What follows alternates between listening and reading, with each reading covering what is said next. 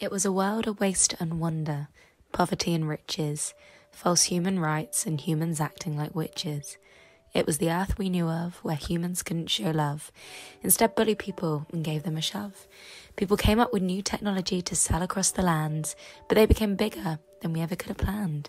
We dreamed of what we wanted and we thought we achieved, but then in 2020, a new virus came our way. People reacted and still didn't hide away. We started to clap for the brave ones indeed, and were happy at home because we could still breathe. The seas got lonely, and the sun and the sand. They never knew the nasty things COVID had planned. How is everyone? Hope they're fine. Don't want them to cross the line. But as I sit back, the bigger picture I see that this universe does not revolve around me. It's time to consider life beyond my immediate place, to be one regardless of generation or race.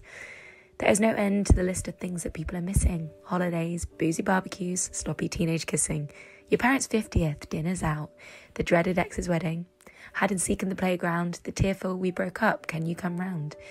Catch ups over coffee, teaching grandma how to twerk, finally reaching the pub after a long day of work.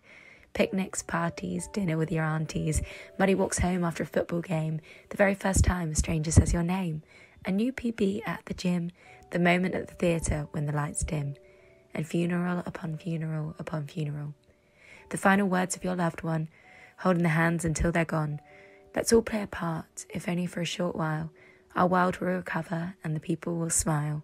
Lives will be saved, grief will be spared. The world will reunite, love will be shared. Hopefully, it won't be too long till this situation has gone away, but for now, all we can do is stay at home and pray.